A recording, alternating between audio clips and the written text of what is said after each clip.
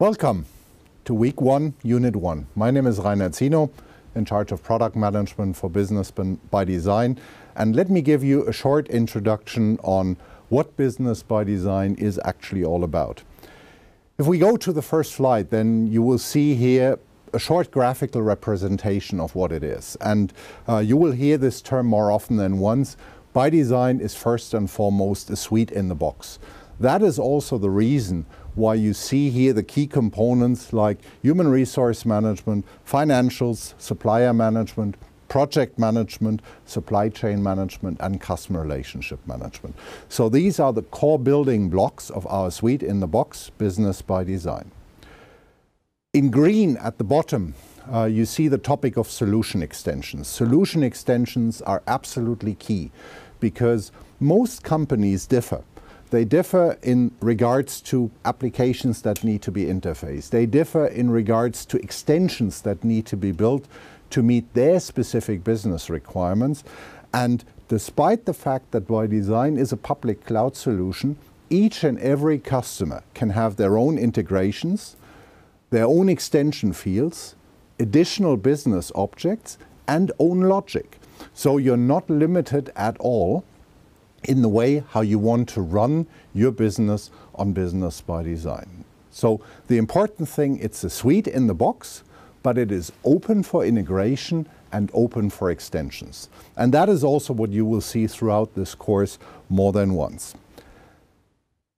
Business by Design is in the market since 2007, and I'm in the very pleasant situation that I have the opportunity from time to time to meet with customers who are using the system now for three, four, five, six years. Some customers even now for 10 years this year. And I use these discussions with these customers to ask them, well, now that you're so long using the system, what has it given you? What, what is the true tangible benefit that you got out of it? And the first thing that the customers say is they, they mostly say, we didn't know exactly what you were talking about when you first set Suite in the box, but the ability to grow our business processes and many of them just started with financials or just started with CRM. And then over time grew into all the different areas without having the need to reinvent the wheel, to deploy additional solutions, to retrain all of the users.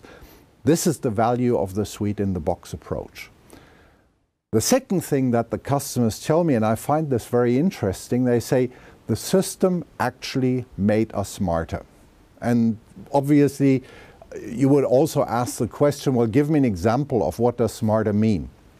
And I recently met the CFO uh, of one of our large customers in the United States and Latin America.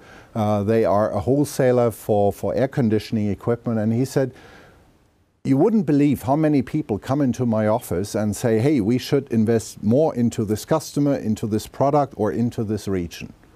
And in the past, he said he mostly thought by himself, well, I hope that these people know what they're asking for.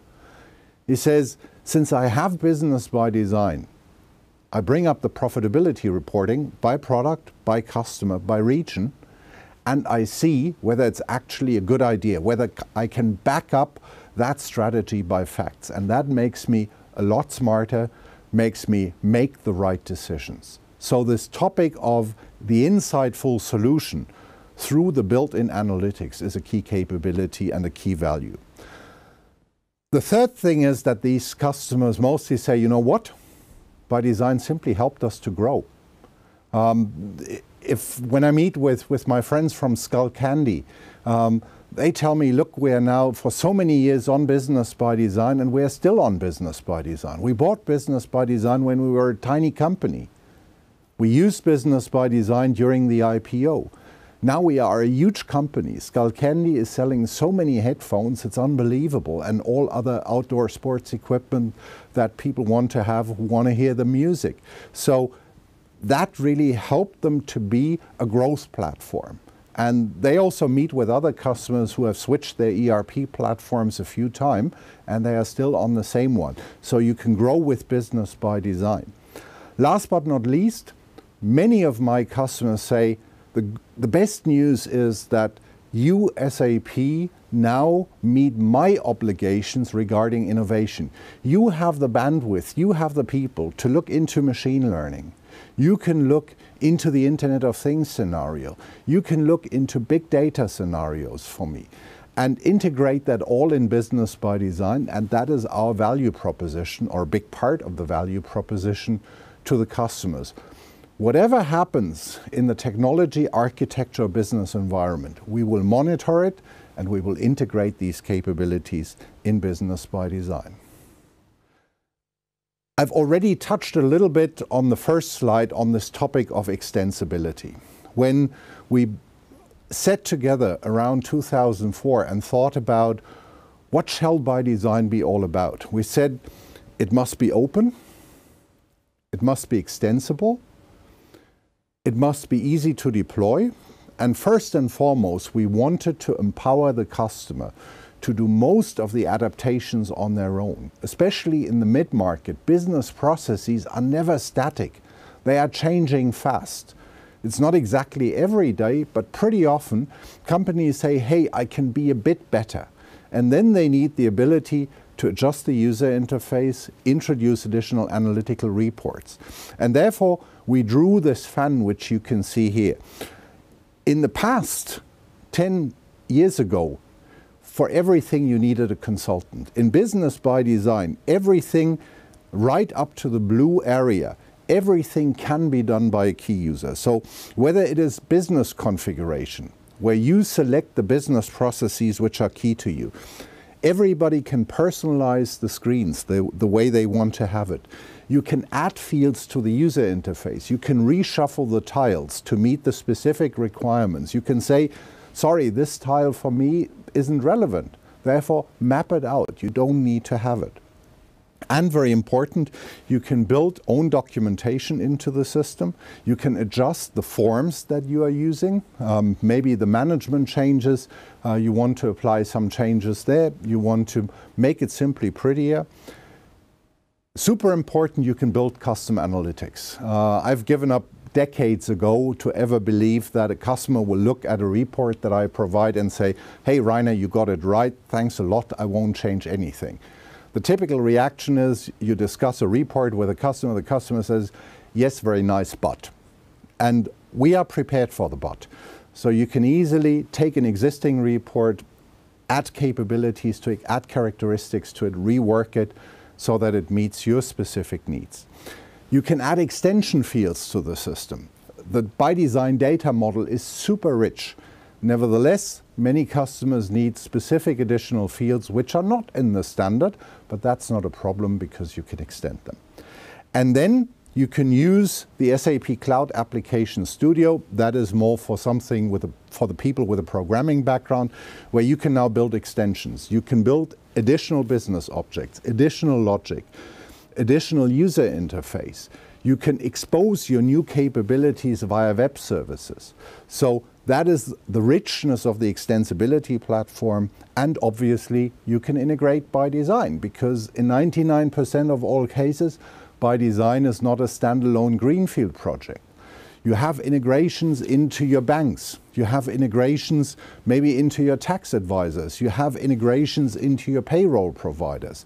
You have integrations, and you will hear more about that, to your third-party logistics provider. So that is why this fan is so important.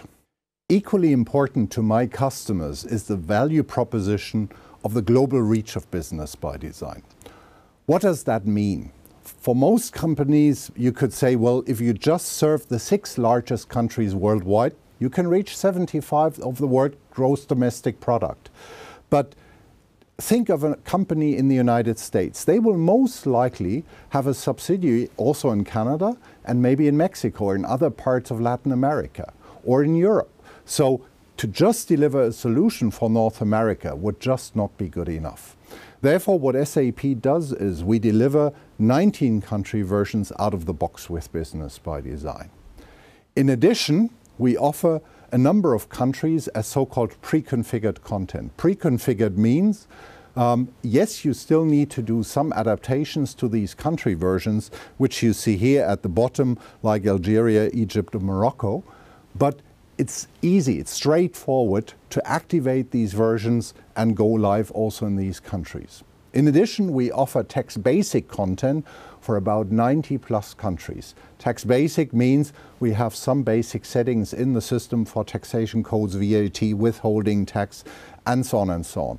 All of this is available to you and your partners via dedicated toolkits. So you can also build out country versions which SAP does not support. That is also the reason why, and I checked it this morning, by design today is used in 123 countries. So it, is, it has a global reach and you can extend it as you go. If we now look at supply chain management, then I have here a simple visualization. You will hear more a lot more about this in the next couple of weeks. So the first part is the internal supply chain. So that's the way how you organize the flow of goods within your company. Basically, uh, from the goods that you bring into your organization, put into the warehouse, from the warehouse uh, towards the production area, from the production area back to the loading dock, uh, where you then hand over these goods. So that is everything which you do in the internal supply chain. The second part of it is obviously you're the part of a bigger picture which we describe as the external supply chain. So you have on the one side your customer, and you need to understand the customer demand to do proper demand planning. And on the other side, you have your suppliers from whom you source the goods which you need to contribute with your value add in the supply chain. So you use the intra-intercompany capabilities that Business by Design brings to the table. And when it comes to the shipping, and I already briefly touched on it during the integration part, you can use, for example, a third-party logistics provider. Many of my fast-growing customers said, why would I want to have a warehouse on my own and organize all of that? I can work with third-party logistics providers who can do this a lot better than I can, but it's fully integrated into my Business by design system so that I have transparency. Last but not least, the key thing about supply chain management is that supply chain management is the other side of the coin on which you will find financials. Supply chain management and financials need to be tightly integrated because everything you do in your supply chain always has a financial impact.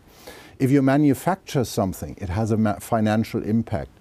If you uh, revaluate something, it has a financial impact. That is the reason why, since the first day, Business by Design contained a supply chain management kernel because the masterminds behind By Design said you can't bolt on a supply chain management solution. It is nothing that you can solve with an add-on. You either put it into the solution in the very, in the very first second or otherwise you won't get this linkage between financials and supply chain management. Let me show you one scaring slide. And it's not scaring at all. It is, it is uh, you know that Business by design is a modeled system and this is basically the look under the covers. So here in the middle, you actually find what I call supply chain management. Here you have the demand planning, you have the production, and it's exactly the same thing that you saw on the other side. Here you have the customer relationship management part, because otherwise the demand planning can't work here in the middle. And over here, you have your supplier relationship management, uh, down here, and that is only um, a little visualization. We have a huge wallpaper uh, which shows you the details of financials, which you have here, and here human capital management. I picked this slide simply to show you that everything that we do with supply chain management is at the center of what we do. And each of these black lines, which you see here, are available integration scenarios to you which we deliver out of the box. That much as a short introduction to Business by design and what supply chain management will be able to do for you. Thanks a lot for your attention, and with that, I hand over to Stefan Resak for the next unit.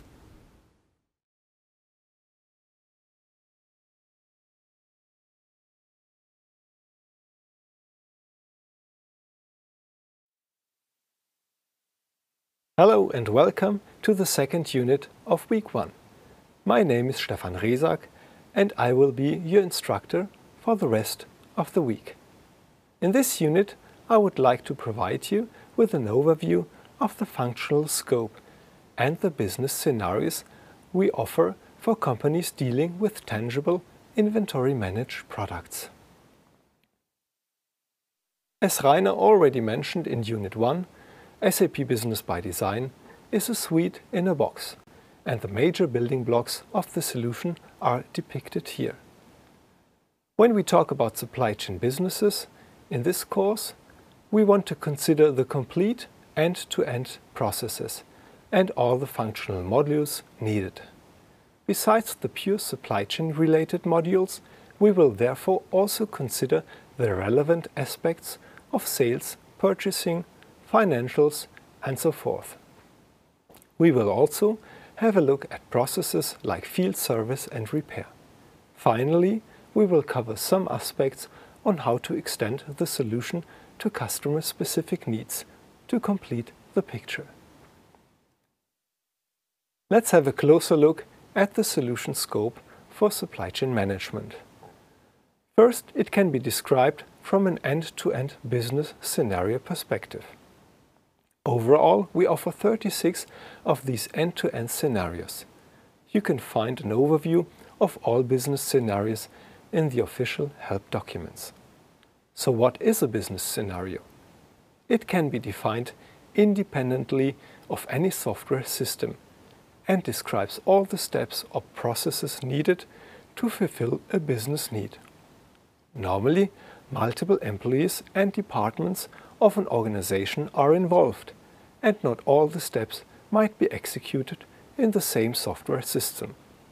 Some steps might even be executed outside a system.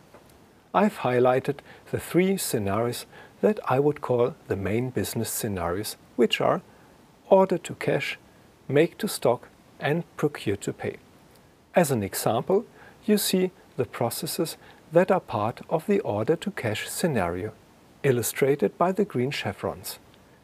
It covers all steps from generating sales demand from customers to shipping the goods to the customer, and it also includes invoicing and the payment process.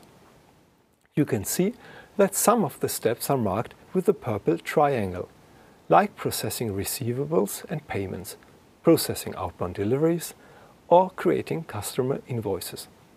This means that these steps have relevance to finance and will lead to the corresponding accounting documents. You can also see that other business scenarios, like customer returns or marketing to opportunity, are linked to the order to cash process. The customer returns scenario, for example, starts with returning goods based on an outbound delivery that was created in the order to cash process. The second main scenario is the make to stock, which deals with manufacturing products to replenish inventory or to fulfill a specific sales order. Last, we have the procure to pay, taking care about buying products from your vendor. To run your business, you normally need several supporting scenarios. Demand planning, for example, will help you to forecast your future demand so that production and procurement processes can already be triggered well in advance.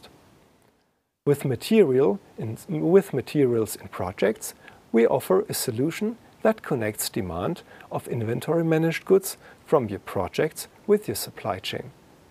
Physical inventory management will help you synchronize the current stock levels with your system records just to mention a few supporting scenarios.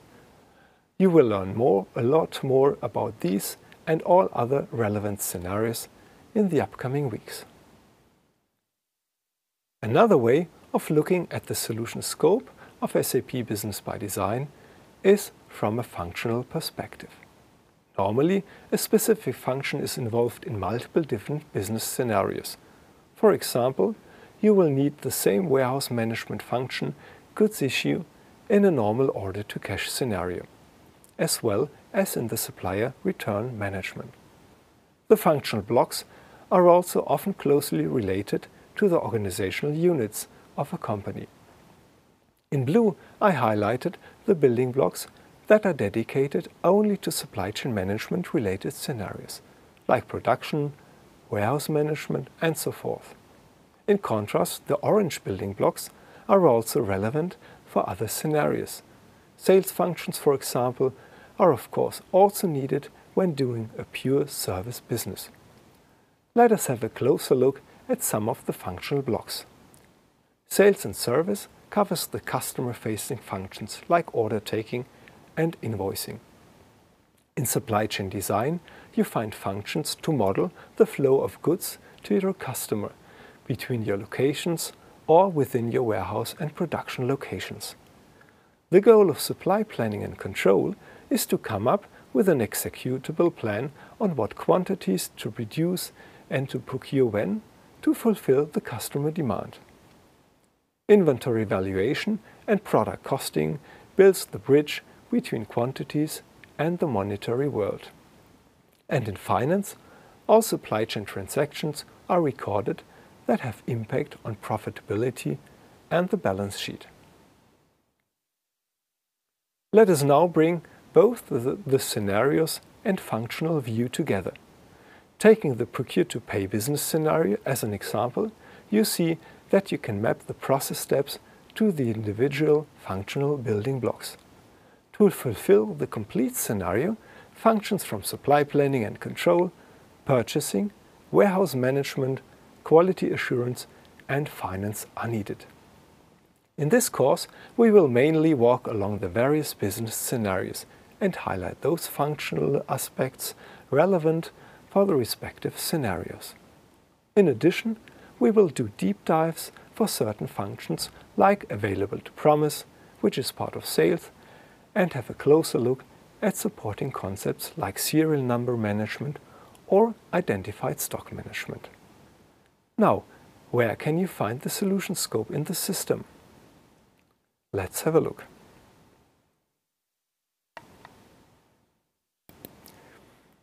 In the Workcenter business configuration, we have the view Implementation Projects.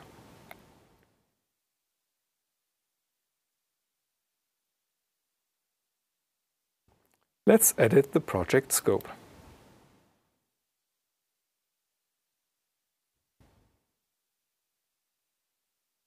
In the first step of the guided activity, you can select the countries which are available in Business by Design. Let me skip the next step and directly navigate to the scoping.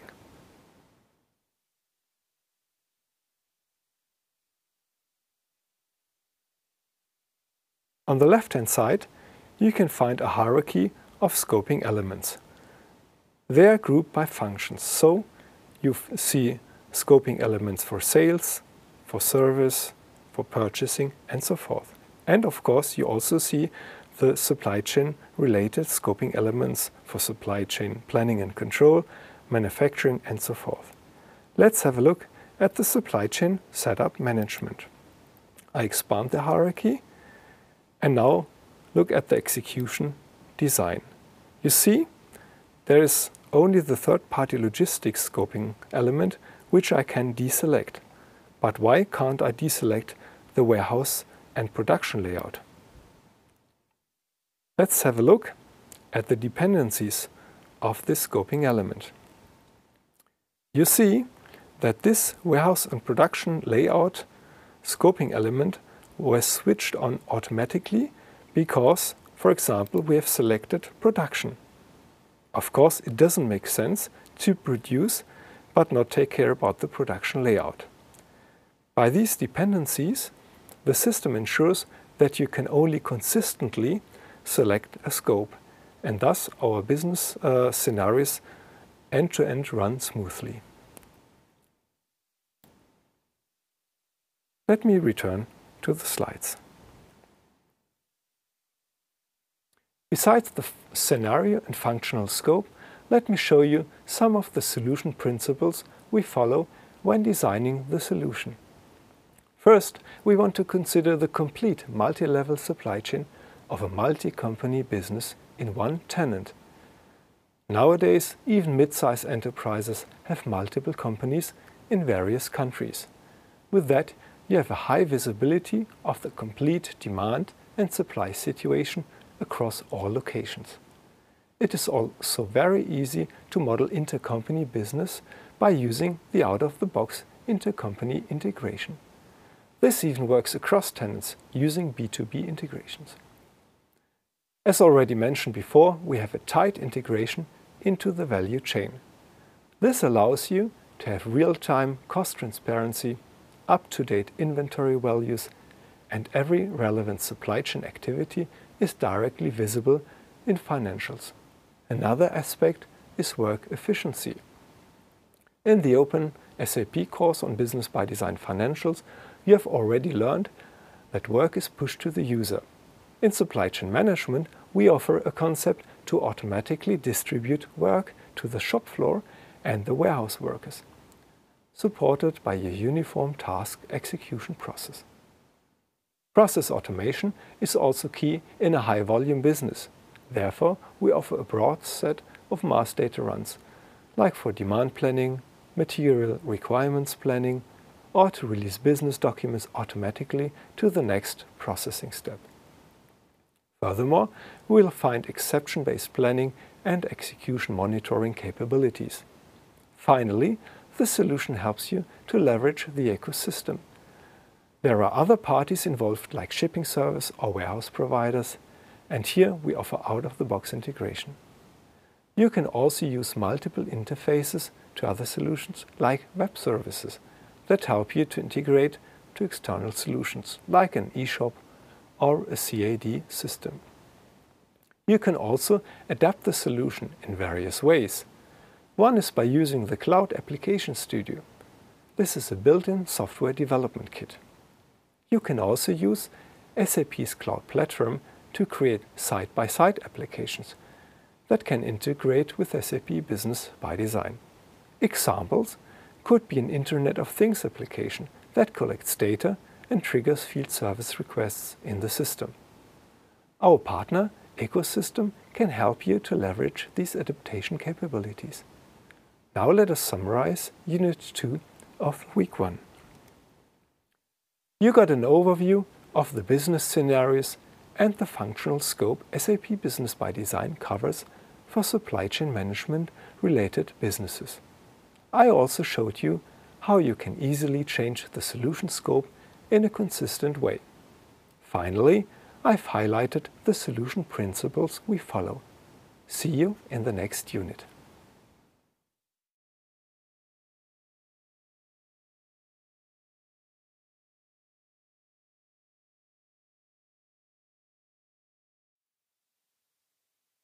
Hello and welcome to week 1, unit 3.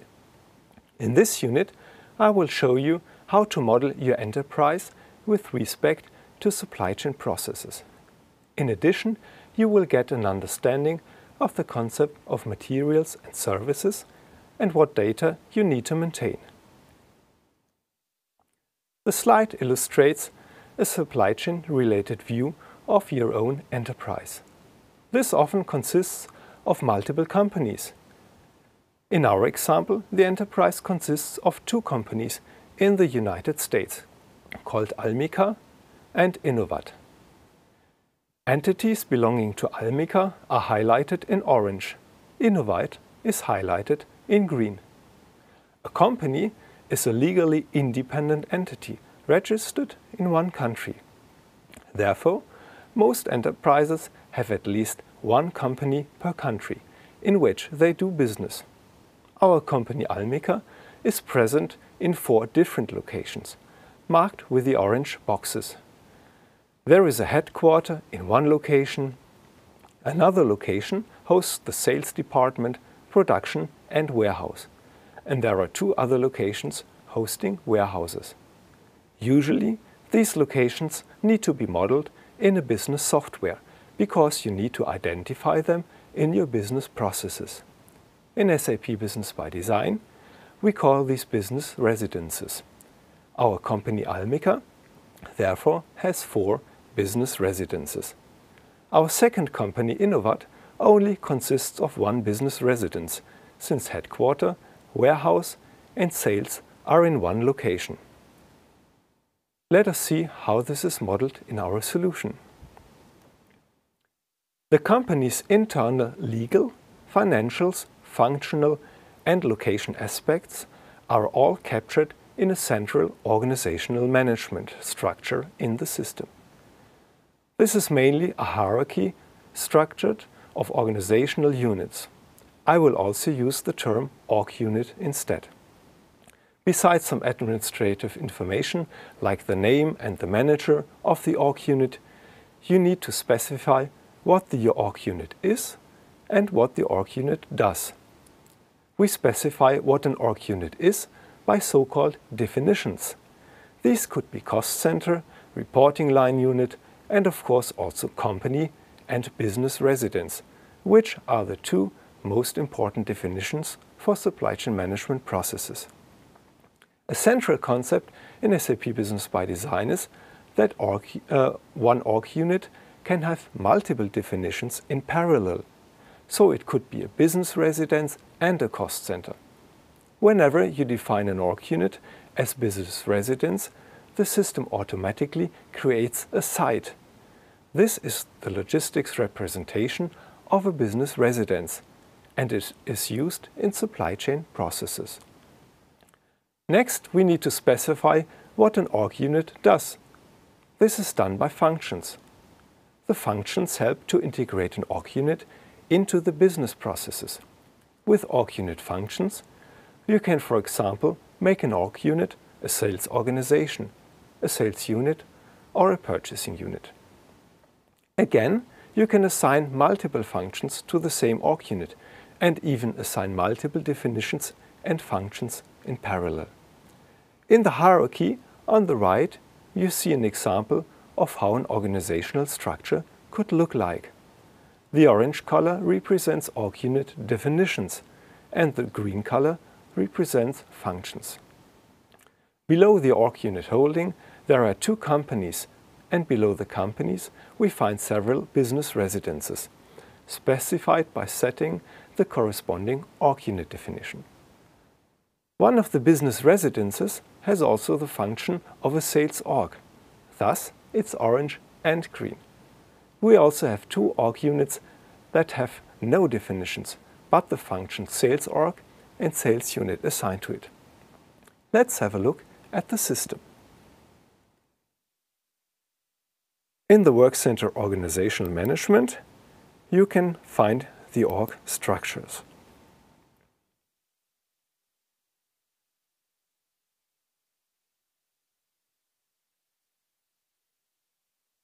You see three org units, which is the holding, and Almica and Innovat.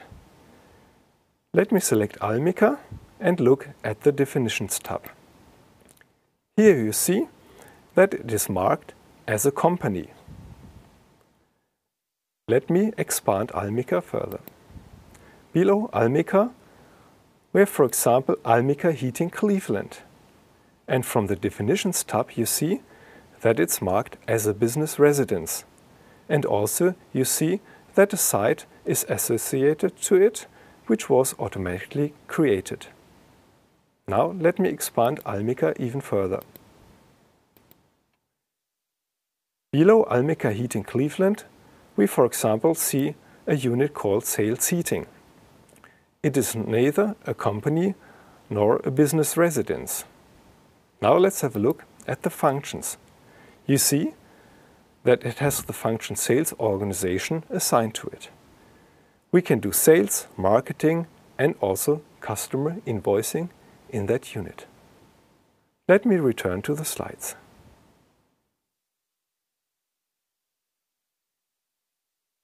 Let us now move to another very important question.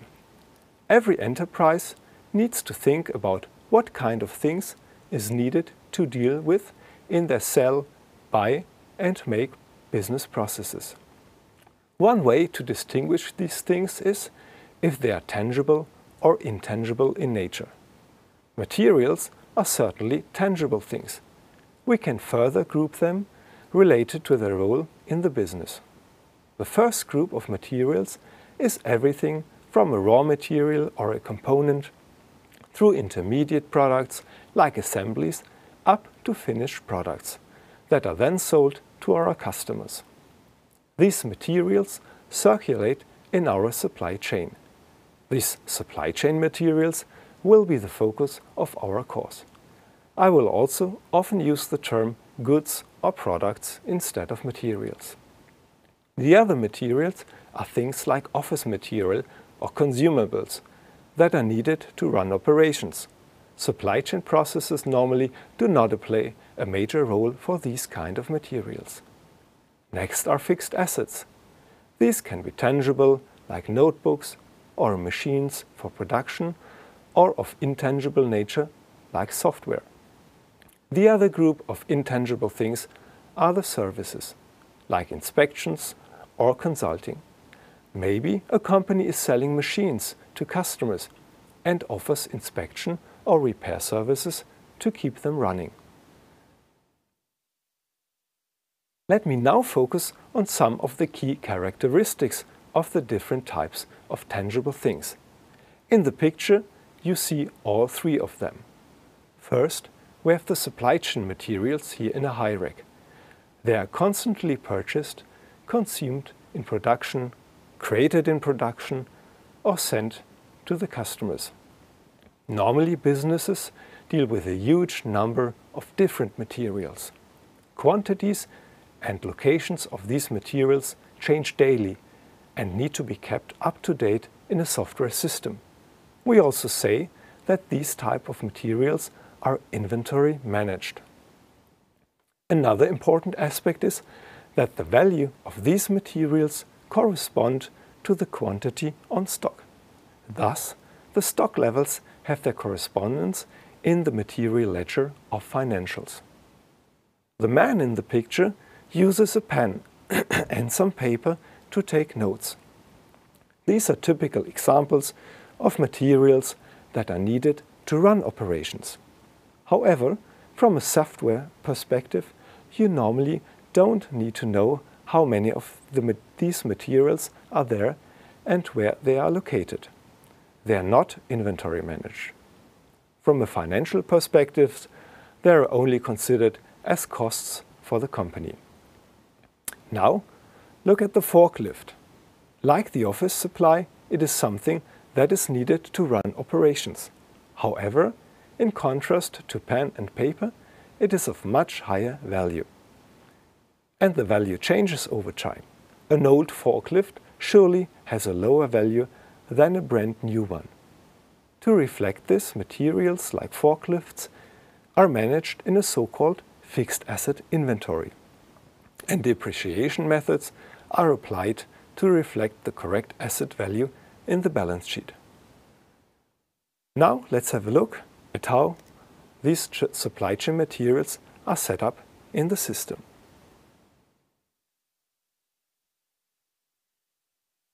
In the work center, product data, we have a view materials.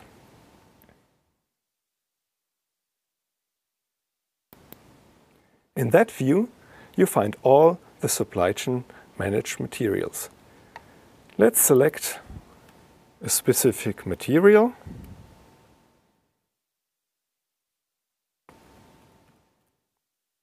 and create a copy of it. And I copy it with source statuses, so it will already be activated for the various aspects. First of all, I have to give it an ID. This ID is used to identify this material in the various business processes. You can also see that the material is assigned to a product category. This product category helps to group similar materials, for example, for financial or purchasing purposes. You also see that this material is managed in eaches, which is the unit of measure. Now down here you find a table of quantity conversions. So if you want to manage your material for certain processes in other units of measure, you have to specify the quantity conversion here. For example, if you want to sell this material in boxes, you can specify how many eaches are in one box. With that, you can now use the unit of measure boxes instead of eaches for this material. Let's move along the various aspects of the material. In the purchasing, you just simply activate it so that you can buy it. In the logistics tab, this activation is done per site. So you can specify per site if you want to do production or warehouse management operations for this material. You also can find a so-called production group and a storage group, which can be specified per site. This storage group and production group helps you to group similar uh, materials for inventory management and production purposes. For example, I can assign the storage group non-bulk material to it. It's handled in eaches and truly not a bulk material. If I want to do supply planning and forecasting, I can activate the material per planning area, which is not nothing else than the site. If I want to check the availability for a certain site during the sales order process, I can activate the material. I can also specify how the availability is checked with the availability check scope. For example, I can, could say that I only want to consider stock. If I want to sell that product, I have to activate the product per sales organization. You remember that the sales organization was a function that could be set in the organizational management, which means that first you have to set up an org unit with the function sales organization before you can sell a product. Last but not least, we have the valuation tab. Here we define how one each of the goods translates into money. This is done per business residence and per set of books. In our example, one each of the product is 100 US dollars. Let me close the material without saving. Let me also now show you where I can define the certain the various groups I've just shown you. For example, we have groups for forecasting, for planning, production and storage. Let's select the storage group. You remember that I have assigned the storage group non-bulk to our material. We have also defined another storage group bulk. You will later on learn a use case how, how this storage group can influence the processes. Let me return to the slides. This concludes Unit 3 of our first week. In this unit, we introduced the organizational management and discussed the key organizational unit definitions and functions needed for supply chain management. Then we had a look into what materials, services and assets are and how to set up a material for supply chain management. Finally, I've shown you how products can be grouped together for different purposes. I hope you have enjoyed this unit. See you in the next unit.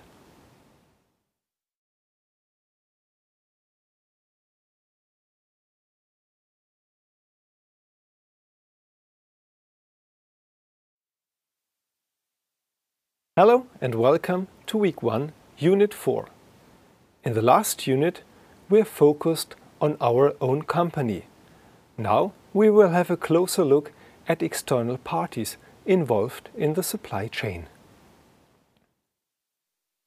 First, there are of course customers and suppliers that we do business with.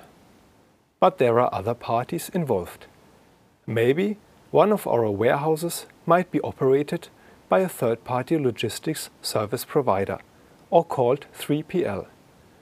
We also might use a freight forwarder to ship the goods to the customer. There might also be external staff executing services on behalf of your company. So how is this reflected in SAP Business ByDesign? All parties you interact with are first represented by an entity called business partner. This can be a business partner person or a business partner organization. A business partner person could be a customer, for example in a consumer business, I will also use the term account instead of customer. Another example is a service agent, which is a person not employed in your company but working for your company. Business partner organizations could, for example, be suppliers. But in a B2B type of business, also again accounts. Here the account represents a company that buys goods from your company. In the system, each business partner only needs to be created once and then you can assign multiple roles to it. Of course, these roles can differ if the business partner is a person or an organization. A person could be an account and a service agent at the same point in time. A business partner organization can be a supplier and at the same time an account of your company. Some of the roles are grouped together. A special type of supplier is the warehouse provider, running your warehouse on your behalf in a 3PL scenario. Other supplier roles are freight forwarder or bidder. You can also maintain relationships between business partners, here highlighted with an arrow. A service agent, for example, could be employed at one of your suppliers. Also, business partner persons could be contact persons at your supplier or account. As you might remember, our enterprise consists of two companies called Almica and Innovat. Since these companies are legally independent companies, they also act as an account and supplier for each other. To reflect this, the system automatically creates a business partner with the roles supplier and account for every company and the organizational management. Consequently, when transferring goods from Almica to Innovat, Almica acts as a supplier for Innovat and Innovat acts as a customer for Almica. In week 4, we will have a closer look at this intercompany sell and buy process, sometimes also called intercompany stock transfer. Sometimes there are situations where you cannot model all companies of an enterprise within the same tenant. Or maybe you run a two-tier ERP strategy and your headquarter uses S4HANA and your subsidiaries run SAP Business ByDesign. In those cases, you first need to set up those companies as supplier or account business partners. In addition, you need to create a partner company for those supplier and customer business partners. This is needed for financial reporting purposes, so that you can distinguish between external and intercompany business. All companies modeled in the organizational management org structure are automatically partner companies. Let me now show you where to find the business partner related work centers and how to create partner companies.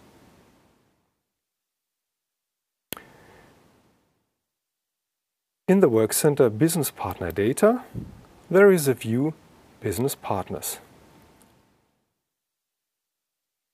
Here you can find all the business partners created in Business ByDesign. Already here you see a business partner for Almica, our company. Let me open the advanced filter and have a look at the value help of the business partner roles. You see a long list of available roles in Business ByDesign. Of course, roles like supplier and account are here. Let me select the accounts. And here you see again Almica and Innovat, our companies, also as the uh, account business partner, but many others. Imagine now we have a company, Low Plumbing, which is our account, but now we decided that it's also to buy things. So he also acts as a supplier for us. We select this and now can create it as supplier. Already some data are pre-filled from the account business partner data, but you can also add additional purchasing related data like the payment terms or the purchase order currency. You also see some additional identifiers which assign further supplier roles to this business partner, like bidder, freight forwarder, or warehouse provider. Let me close this without saving. Now the other use case was that maybe we work together with a headquarter. Let's assume business partner HPA Sweden is our headquarter. And you see we've already created business partner data for it. Now I need to create a partner company for this. This can be done in the Red General Ledger Work Center in the view Partner Companies. Here again you see that Almica and Innovat, our two companies, are already partner companies. Let me create a new partner company. And select our business partner HPA Sweden. I can also specify the date from which this business partner is affiliated to us as a company. Let's choose 1st of August. Now financial reporting will recognize transactions with this business partner as intercompany transactions. Let me again close without say, saving and return to the slides. Now that you've understood how business partners are modeled, let us have a closer look at what we call a distribution network. Our company Almica has three warehouses from where goods can be shipped to the customers. You can see them highlighted with A, B and C. To save transportation costs and to shorten delivery lead times, it makes sense to ship the goods from the nearest warehouse to the customer. So, whenever a customer is in one of the orange-colored states, he would be delivered from warehouse A. The light gray states would be delivered from B and the dark gray states would be delivered from C. These types of normal shipments are marked with a blue arrow. Of course, there could be exceptions to this assignment. There might be customers in a dark gray state which get their goods from warehouse A. See the green arrow in our example. Also, some goods might only be available in warehouse C and thus always need to be shipped from there. I've highlighted this with the red arrow. Sometimes you first distribute the goods from a production site to a warehouse before it is shipped to the customer. This is represented by the black arrows. This process is also known as intra-company stock transfer, because the stock is transferred between two sites of the same company.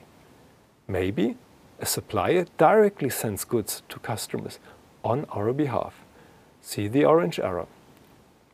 This process is also called third-party order processing or drop shipment. We will cover this in detail in week 4. To address the various use cases we have just seen, we mainly offer two objects, the transport zone and the transport lane. The role of the transport zone is to group customers that should get their goods from the same site. So if two customers belong to the same transport zone and they order the same product, then they should be delivered from the same site. The transport zone can either be defined by a list or a range of countries, regions, or postal codes, or alternatively, a transport zone could also be set up directly as a list of customers. In our example, we, do, we would define three transport zones to group the orange, light gray and dark gray states. A global transport zone is pre-delivered in the system and you can use it if separation of your customers by transport zones is not needed. Now let's talk about the transport lanes. You can use them to define which goods can be shipped within a certain time from a specific site to a specific transport zone. Let me explain what steps are taken by the system when a sales order for a supply chain material is entered. In step 1, the system determines the transport zones. This is either done by checking if the account is directly assigned to a transport zone or if it fits into a transport zone based on the ship to address in the sales order items. There could also be multiple transport zones a sales order item fits into. In a second step, all lanes are evaluated that are directed from a site to the just determined transport zone. In step 3, it is checked if the material requested by the customer can be transported with this lane. Of course, the relevant logistics master data for material need to be available for the site. See step 4. If there are still multiple potential ship from sites, you can prioritize the transport lane that should be automatically considered. You can still change the ship from site proposed by the system manually if needed. You remember that sometimes goods need to be distributed from a production site to a warehouse site of the same company. This is the second use case for transport lanes. Here, they are defined between two sites. Again, allowed products and shipment duration can be specified. You will learn more about this intra-company stock transfer use case in week 4. Now, let me show you how to set up zones and lanes in the system.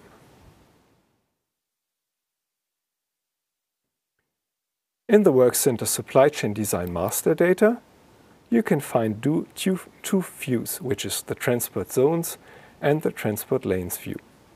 Let's first select the transport zones. You see already the global transport zone pre-delivered. Imagine now we want to do new business in California. Therefore, we would first create a new transport zone for California. Let's call it, call it California. And here down we can assign the region to this transport zone. Of course, again, we would use California.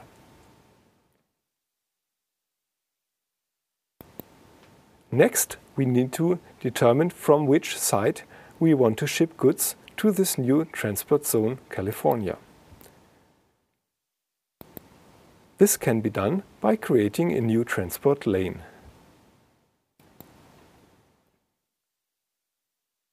Here you see on the right that we can specify the transport zone for this lane, which means that this lane can now be used to ship goods to California. I now have to enter the ship from site as well. Let's assume we want to ship our goods from Almica Heating Cleveland to California. You can also specify a shipment duration. Here it is one day. Down here you can also specify the allowed products. I want to allow to ship every product via this lane. If you want to have a stock transfer process, an intra-company, instead of a transport zone, you would specify the ship to site. Let me close the screen without saving.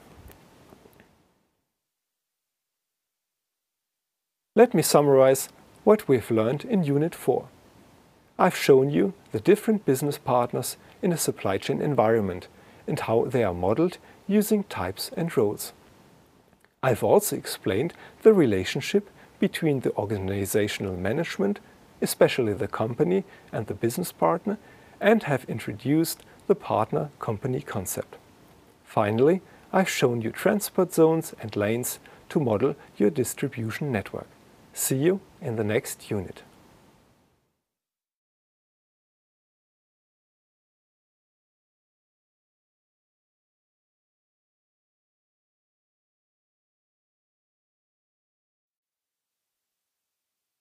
Hello and welcome to Unit 5, our last unit of the first week.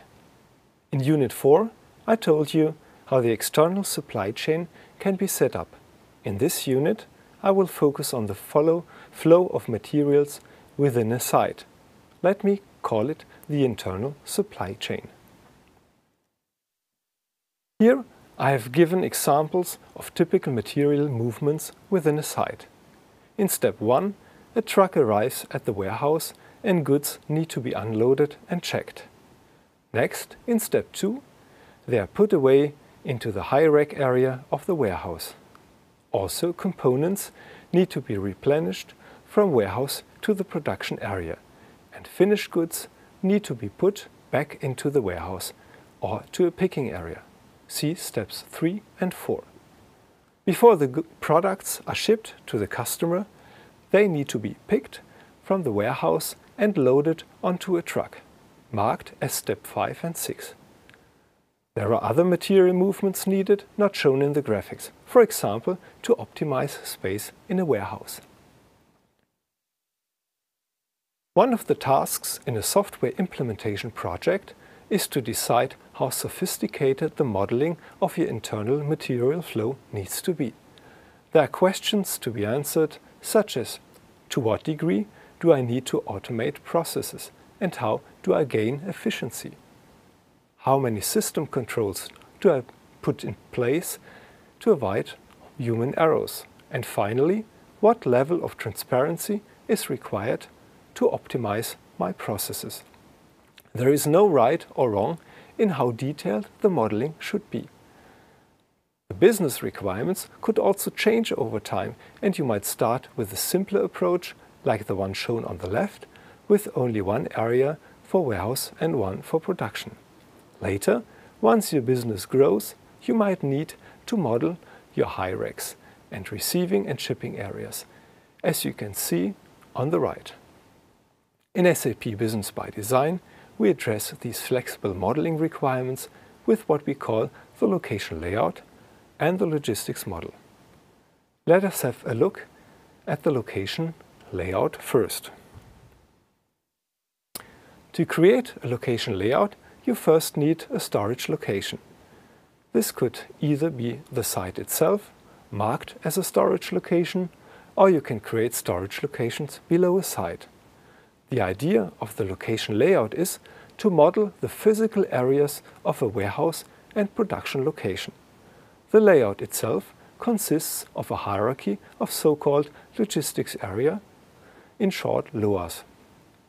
These are freely definable areas within the location, providing detailed physical and operational information.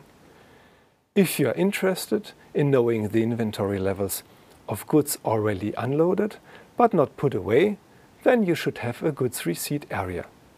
If you want the system to guide your warehouse workers to the right bin location, then you should model your high rack area down to the bin level. If you have a rather simple warehouse, and workers know where to find the goods, your modeling could be more simple. The site could also consist of several production areas in which production resources are located. There could also be dedicated logistics areas to supply components to production lines. With that, you can see the flow of materials through production. Please note that inventory management is only enabled for the green logistics areas. In fact, it can only be enabled for one level of the hierarchy. Once for a logistics area the inventory managed indicator is set, you will be able to store products there. Let us have a first look in the system. In the Workcenter Supply Chain Design Master Data, we have a view Locations. In that view, you can see all the sites which got created based on the business residences of organizational management. Here we also have a site, Almica Heating Cleveland. Let's first have a look at the site itself. Here we can find data like the address of the site, and we can also have, uh, we have information like the time zone the site is in or the site calendar. On the right, you find further rules of this site.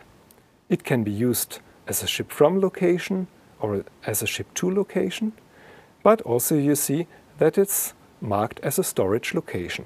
This means we can create a layout for it. Let's have a look at the layout itself. Here in the table you see the hierarchy of logistics areas.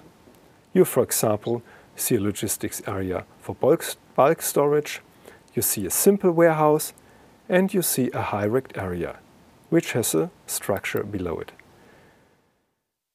You see that the high rack area is modeled down to the bin level. Let's select the first bin for now and see what data can be maintained. I will not show each and every data, but only focus on the most important aspects for now. First, you see that we have the inventory managed indicator activated. That means you can store products on this logistics area. Another very important parameter is the logistics use. This logistics use defines how this logistics area is used in the logistics processes. Here, it's used for storage, but you can also assign further logistics usages to it. For example, it could be used for shipping staging or for receiving staging if I assign additional logistics usages for it. Let me remove, remove that line for now. Now let's have a look. Oh, um, also, we can define certain restrictions of this logistics area. You can, for example, define that only the same product is stored at one point in time. You cannot mix products in that bin. You can also define which products are allowed to be stored there. In this example, on that bin I can only store handsets. Now let's move to the production. Here we have a list of resources which are assigned to the production area. These are production machines, for example, that are used in manufacturing. You can also see a fixed supply and output area. With this supply and output area, these are again logistics areas, which are then used in manufacturing. In the, the fixed supply area is used to pick the goods from there to fulfill a production order. After production, the goods are stored in the output uh, area, here in the warehouse.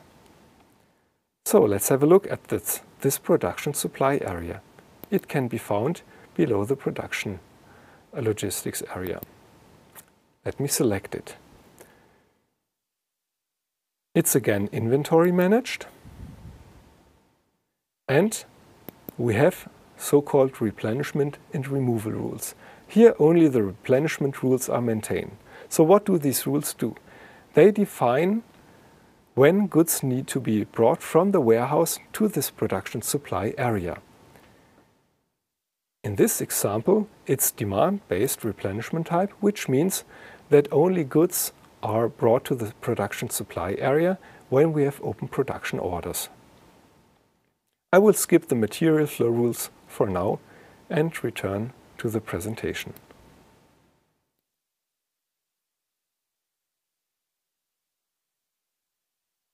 The other master data to control the internal material flow is the logistics model. It describes the steps of operations of a logistics process. We offer different logistics models for the standard receiving and shipping, replenishment and removal, returns and spare parts process. In a lot of cases, a logistics model consists of one operation, but there are logistics models that can have two steps, like for shipping of goods to customers. See the example 1 on the slide. Let's have a closer look at this model. In a first step, we pick the goods from a warehouse and bring it to the shipping staging area, and in a second step, the goods are loaded onto a truck. For each step of the logistics model, you must define the logistics use of the source and destination logistics area. This is needed for the system to automatically propose logistics areas when tasks for the warehouse workers are created.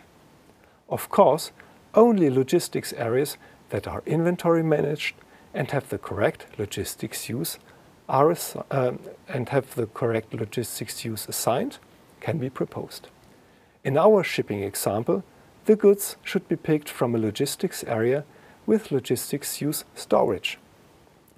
The goods should then be brought to a logistics area with use shipping staging. In the load step, the goods, of course, are taken from source logistics area of use shipping staging, but the target logistics use is not defined because the goods are not in our warehouse anymore after loading. Now to the second example. For a replenishment task, you remember that the replenishment rules were defined for the target logistics area. Therefore, the target logistics use does not have to be defined in the logistics model. Nevertheless, you'll need to define the source logistics use. There is one element missing. We still need rules that help the system to determine the specific source and destination logistics area. Imagine you have set up a location layout with multiple logistics areas of the same logistics use, for example storage. Which of the logistics areas should the system propose? You can define this in the material flow rules. They can be set up on site level and on any hierarchy of the logistics area. The system always tries to use the most specific set of rules. Let us take a first example, a shipping process. In the one-step process, the goods will leave our warehouse after picking. Sorry. Therefore, the system will always consider the material flow rules on site level. Let us look at the second example. In the replenishment process, we learned that the rules are defined for the target logistics area. Thus, the system will first check if any material flow rules are maintained for this logistics area. If no rules are maintained, the system will go up the hierarchy of logistics areas until it finds some rules up to the site. If no material flow, uh, flow rules are defined at all, the system will apply default rules. Let us once more go to the system.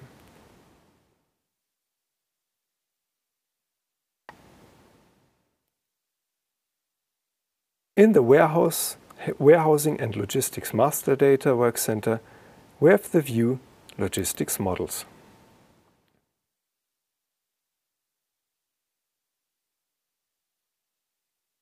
Let me open the logistics models for standard shipping.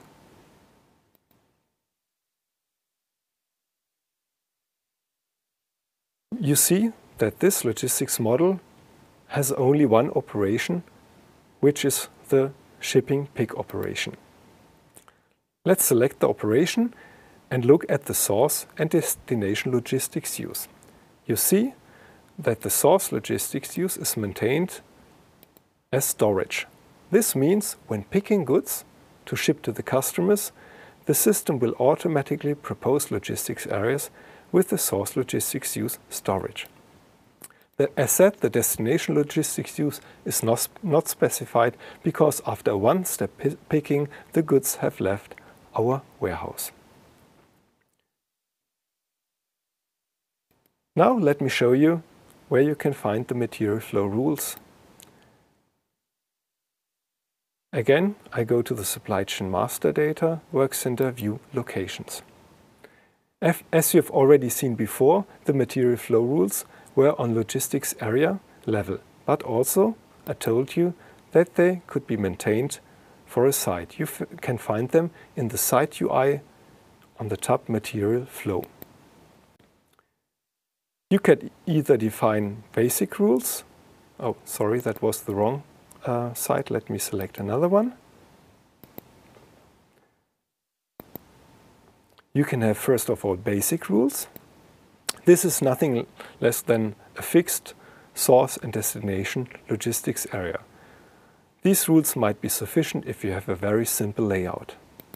If you have a more advanced layout, we can define advanced rules. First of all, we have a sequence ID. You see that the sequence ID is specific for a certain logistics area use. Here storage. So this means this sequence ID will be used for our one-step shipping process.